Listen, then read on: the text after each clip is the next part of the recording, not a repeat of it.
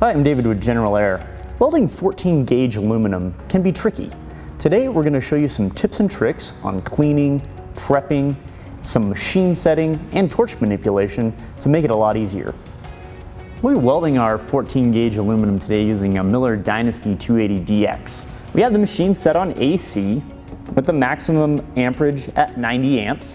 I may not use all of that because I've got a foot control, but I may use all of it when I'm tacking, so that's why I like to set it a little bit higher. Uh, my gas pre-flow is set on 0.3. Get some gas flowing just to help the arc initiate.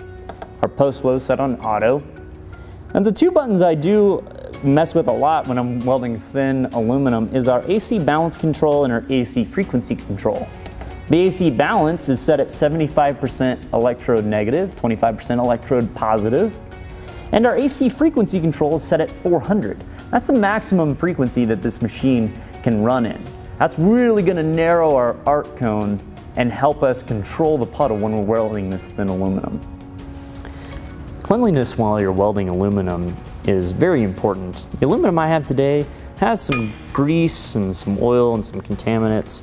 So I'm going to clean it off with a mixture of phosphoric acids and some other deoxidizers those are gonna make sure that we get all the hydrocarbons and grease or any of the uh, manufacturing leftovers that are stuck on the plate. Make sure to get those off.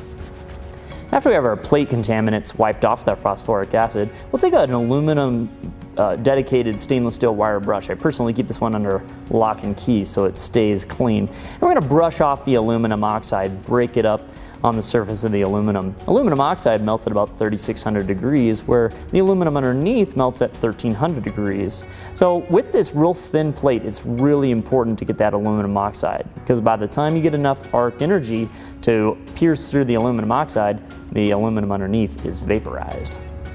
I've got my 14 gauge aluminum tacked. The tacks are slightly inset because I don't want to blow away the edge of my plate. I'll light up just after that tack and then I'll roll in and catch the edge of it and then complete my bead all the way to the end. The setup we were using today was a 1 16th 4043 filler rod and a 1 16th 2% lanthanated tungsten with 100% argon. And as you can see here, I bit into that corner just a little bit more than I wanted to. Could have made that a little cleaner. And then I dipped my filler metal maybe once an inch or so and just pushed that puddle along. You don't want a lot of buildup uh, to keep it clean. At the end, I tapered down my amperage quite a lot. I was almost barely on the foot pedal just to give it that nice clean cap at the end.